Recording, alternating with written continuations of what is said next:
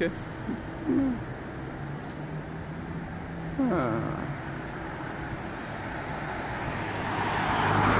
Hello, Chris Mann, porteur des grands voisins comme, comme communauté euh, ou comme commun, en bien commun. Et aujourd'hui, je, je vous montre la devanture euh, du tiers-dieu euh, des Amars, euh, qui est a priori euh, soutenu par Aurore, euh, par le directeur des anciens grands voisins, William Dufour, par euh, l'association Yes We Camp. Et donc ça va où ça c'est un lieu qui est ouvert depuis le 1er décembre et qui va ensuite faire une fête d'inauguration donc ce 9 décembre. Euh, regardons ce qu'il y a euh, dans l'ouverture, enfin de devanture en tout cas.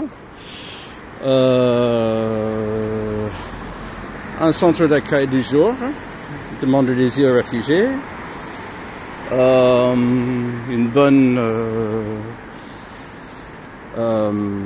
signalétique et on voit qu'il y a un certain nombre d'associations qui sont déjà présents ici pour ce lieu-là.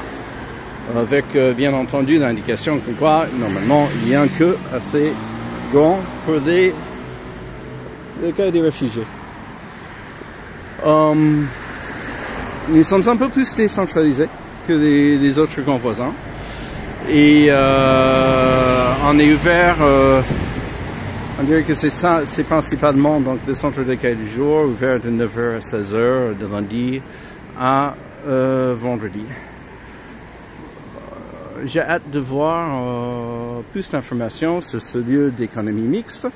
Bien entendu, euh, suite au manifeste des grands voisins, ce qui nous intéresse le plus, c'est euh, le côté gouvernance. Quel est le degré de gouvernance auquel nous pouvons nous attendre, qui soit vraiment impliqué, participative.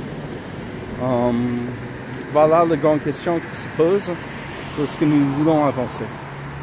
Donc, euh, affaire à.